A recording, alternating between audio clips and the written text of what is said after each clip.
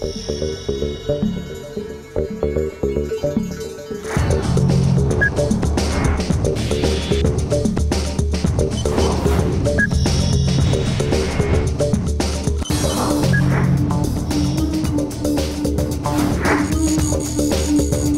you trying to get crazy with this, eh? Don't you know I'm loco? Wahnsinnigen sind unter uns. Sie werden verdammt gut bezahlt und einige von ihnen beten wir regelrecht an. Das Showbiz platzt vor Künstlern, die offensichtlich den Verstand verloren haben oder zumindest den Wahnsinn sehr gut vortäuschen. MTV Masters Celebrity Psychos geht dem Phänomen der Psychostars auf den Grund. Wer war zuerst da? Der Wahn oder die Kunst? Werden die Künstler alle verrückt, wenn sie Erfolg haben? Oder werden alle Verrückten erfolgreiche Künstler? Was bedeutet verrückt überhaupt? Welche legalen Drogen können ein gutes Konzert immer noch viel besser machen? Und macht Wahnsinn sexy? Zusammen mit RB-Import Neo, Das kann dich wirklich verrückt machen. dem Juli-Gitarristen Jonas, Das ist für mich auch kein Traum, das ist für mich ein, äh, ein Albtraum. Stefanie und Novi von Silbermond, Ich glaube, da muss man halt versuchen, viel Mensch zu sein, obwohl es nicht einfach ist. dem Rolling Stone-Redakteur Joachim Henschel Die Stars, die die Klatsche nicht vorher schon hatten, bekommen sie spätestens dann, wenn sie Stars geworden sind. und Professor Borwin Bandelow, Psychiater und Autor des Buches Celebrities vom schwierigen Glück berühmt zu sein, Ja, Wo fängt jetzt krank oder gesund an? Nicht? Das ist also ein fließender Übergang. nimmt sich MTV Masters all dieser Fragen an. Wahnsinn und Genie, Ursache und Wirkung, Chemie und Gehirnschmalz, Euphorie und Trauer. All das jetzt bei MTV Masters Celebrity Psychos.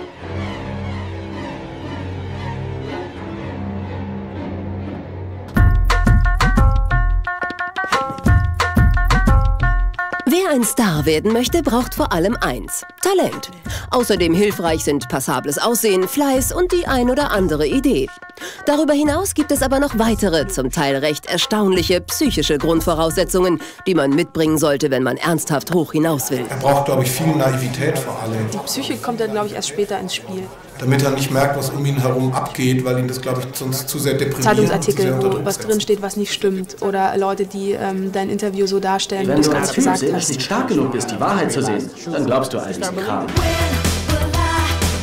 Lange Zeit bevor man ein Star ist und noch erfolglos durch Sporthallen und die Vorsingzimmer der Musikbranche turnt, braucht man eine gesunde Psyche, um nicht aufzugeben. Andererseits ist ein gewisser Wahnsinn auch ganz praktisch, um durchzuhalten. Durchhalten die Zeiten, in denen man noch nicht den richtigen Applaus bekommt und sich trotzdem toll finden.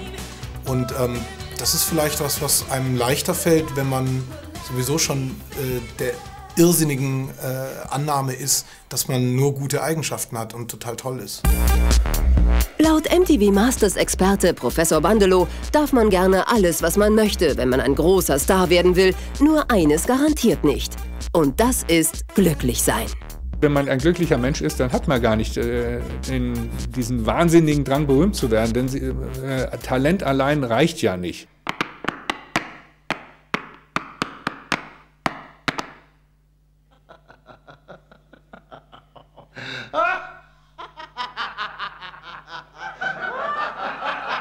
Die Leute, die oft als Genies bezeichnet werden, die haben nicht einfach nur ein, äh, ein Talent oder so, sondern da ist ganz viel Druck und dieser Druck kommt aus der Angst. Angst, nicht der Beste zu sein. Angst ist ja die Kraft, die einem diese Energie gibt, dass man auch das alles übersteht. Angst vor dem Versagen kann also kreativ, hartnäckig und schließlich ruhmreich machen. Diese Versagensängste können sich allerdings sehr unterschiedlich äußern. MTV Masters Celebrity Psychos nennt mögliche Grundlagen für eine große Karriere. Ein auffälliges Phänomen in der Musikbranche ist die Körpergröße der Stars. Es kann kein Zufall sein, dass beinahe alle Schauspieler und Musiker im Fernsehen größer aussehen, als sie im wahren Leben sind. Man trifft eine Menge Promis und dann ist es so. Wow. Wow. Hi. Hi. Im Fernsehen siehst du viel größer aus. Zu mir sagen das auch immer viele Leute. Wir saßen jetzt irgendwann mal in einem Restaurant und haben was gegessen. Und da kommt so ein Junge rein, der wollte gerne Autogramm und ich saß so mit den Jungs und ich bin noch im Sitzen nicht kleiner als ihr. Und dann sagt er so, hey, du bist aber viel kleiner als im Fernsehen. Und ich dachte mir so, wie kann er das denn sagen, wenn ich noch nicht mal gestanden habe und der schon im Sitzen sieht, dass ich klein. Ich bin ja auch nicht klein, ich habe eine Durchschnittsgröße für eine Frau. 1,67. Zum einen haben kleine Menschen bessere Proportionen als größere. Die Muskeln sind größer, die Brüste draller und die Taillen schlanker. Kleine Menschen verfügen allerdings auch oft über einen Minderwertigkeitskomplex, der tatsächlich aus ihrer Körpergröße resultiert. Es gibt sowas wie ein Napoleon-Syndrom. Das sind also die Leute, die eben sehr klein sind, wie Caesar und Napoleon. Und heute gibt es eben auch viele Stars, die extrem klein sind. Bei Prince zum Beispiel, glaube ich, ist das schon ganz extrem. You sexy Horn, stand up, please. Der hat ja auch immer riesig große Frauen irgendwie. I guess Gott dachte sich vielleicht, ich muss irgendwie deine Größe kompensieren. Also mache ich dich zu einem guten Sänger. Diese soziale Phobie, die viele Stars haben, ähm, ich bin so klein und mich nimmt keiner wahr, das führt sie dazu, äh, dass sie eben genau ins Gegenteil umschlagen und dann nachher am Ende berühmt werden, weil sie so sehr an sich arbeiten, dass sie äh, überhaupt keiner mehr sich über ihre Größe mokiert. Eine gute Grundvoraussetzung, ein Weltstar zu werden, ist also offensichtlich schon mal eine geringe Körpergröße. Doch auch die langen Lulatsche haben eine Chance. Für das Leben im Rampenlicht braucht man ein gesundes Selbstbewusstsein oder zumindest übermäßiges Geltungsbedürfnis.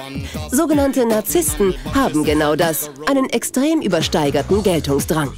Sie sind selbstverliebt und arbeiten unaufhörlich an ihrer Außendarstellung. Sie haben Angst davor, nicht die Besten zu sein und stecken ihre Konkurrenten durch bissigen Fleiß in die Tasche. Also wir finden sehr häufig sogenannte narzisstische Persönlichkeiten, wobei das noch nicht mal eine Störung sein muss. Das kann auch was ganz äh, eine normale Auslenkung äh, der Persönlichkeit sein, so, ohne dass wir sagen müssen, dass derjenige krank ist. Das sind so Leute, die eigentlich überall beliebt sind, Moderatoren, Showmaster, die äh, gerne im Rampenlicht stehen, vielleicht auch ein bisschen lustige Klamotten anziehen, die ein bisschen aus dem Rahmen fallen. Jeder, der sich auf eine Bühne wagt, hat eine leicht narzisstische Ader. Aber nicht jeder auf der Bühne ist gleich narzisstisch. Vor allem in Bands sind die Spieler bestimmter Instrumente lieber im Hintergrund als andere. Also er ist zum Beispiel das perfekte Beispiel dafür, dass also jemand, der gerne Musik macht, aber überhaupt nicht unbedingt im Rampenlicht stehen will. Wir haben irgendwann mal angefangen zu sagen, okay, komm, wir würden gerne den Schlagzeugpodest ein bisschen höher bauen. Weil vorher war es vielleicht, wie viel waren das, ein paar Zentimeter oder was? Und er meinte so, nee, wir wollen das jetzt mal, haben wir gesagt, mal ein Meter Podest. Nee, da sehen mich doch die Leute. Und ich so, hallo, du bist Schlagzeuger, klar sehen dich die Leute auf der Bühne. Ich glaube, die Sänger sind Narzissten. Die Sänger müssen Narzissten sein oder auch vielleicht die Schauspieler, die Hauptrollen spielen. Klar, irgendwo sind sie Rampensäuer, weil es ihnen einfach Spaß macht zu reden oder weil es ihnen Spaß macht, äh, mit den Leuten zu agieren, weil sie einfach Typen dafür sind. Wenn man dann wieder die Bassisten und Schlagzeuger und Keyboarder und die anderen hat, die so im Hintergrund stehen, die natürlich auch viel Geld verdienen, bei denen muss ja das Gegenteil der Fall sein, weil sie sonst immer zu viel spielen wollen, sich immer nach vorne drängeln oder sich zu schön machen und dann demjenigen die Schau stehlen, der eigentlich im Mittelpunkt steht. Es kommt ganz auf die Leute an. Es gibt Schlagzeuger, die auch Frontmann sein wollen. Der Drummer von Nirvana zum Beispiel wurde ja bei den Foo Fighters Leadsänger.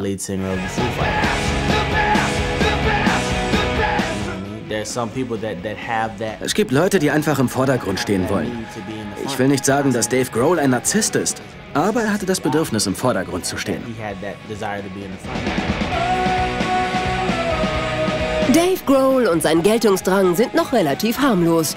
Übel wird es bei den Leuten, die wirklich alles tun, um ins Rampenlicht zu kommen. Ein Narzisst will nicht unbedingt nur durch positive Dinge berühmt werden. Ähm, es gibt auch den sogenannten negativen Narzissten. Das sieht man natürlich auch bei Stars, dass sie auch billigend in Kauf nehmen, dass auch mal was Negatives in der, über sie drinsteht, weil sie dadurch äh, wieder in die Schlagzeilen kommen. Ich arbeite sehr hart.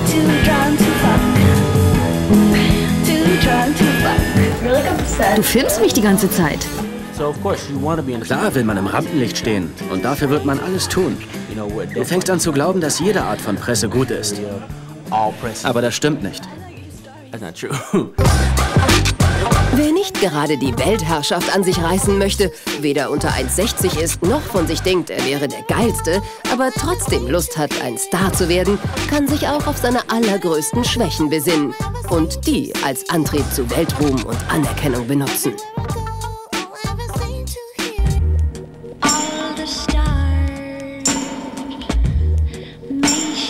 Schüchternheit kann ein Vorteil sein. Kurt Cobain hat auf der Bühne alle Aufmerksamkeit auf sich gezogen, obwohl er ausgesprochen scheu war.